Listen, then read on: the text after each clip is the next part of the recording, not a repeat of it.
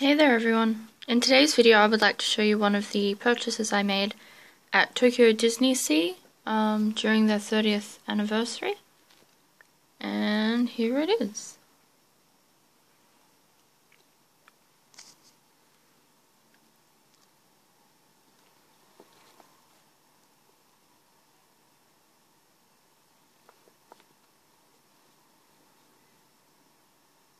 It's a bottle holder.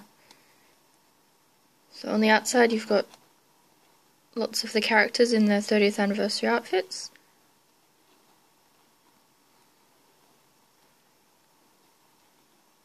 And there's the 30th logo.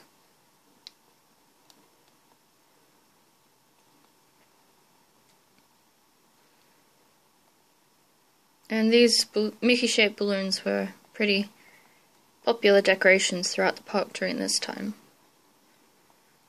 Um, I consider this to be one of the most useful purchases I made in Disneyland. There are a few others that I will show you in separate videos. Um, I use this one every day when I go to work, especially now that it's in summer in Australia. You see the inside is insulated. And the drawstring closes at the top, so depending on the size of the bottle, it might completely cover it or it might have the lid sticking out. So my favorite iced coffee.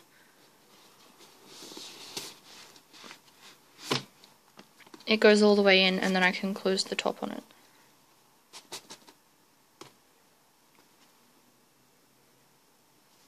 Um, I used it when I went to Oz Comic Con um, and it kept my drink cool all day which was good because it was quite stuffy in the hall.